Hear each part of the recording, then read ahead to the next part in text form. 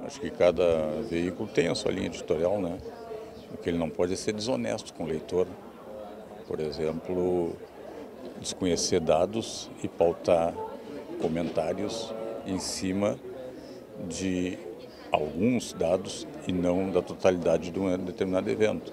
Então, essa é, não dar voz à controvérsia significa uma exclusão, uma exclusão de uma parte da sociedade. Né?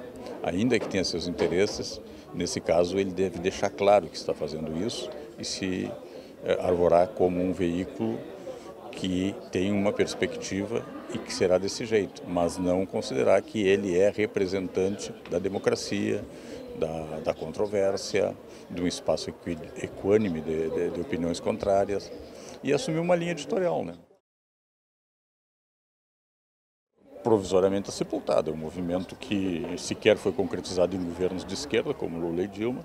Eu acho que agora qualquer projeto nesse sentido vai ser sepultado na pauta da mídia e vai ser sepultado pela, constru... pela estrutura da Câmara e do Senado. Não passa nada.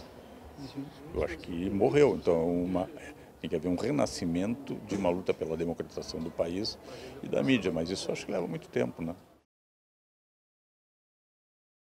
Tem que ter um certo conhecimento de mundo, então a leitura é muito importante disso, inclusive de história.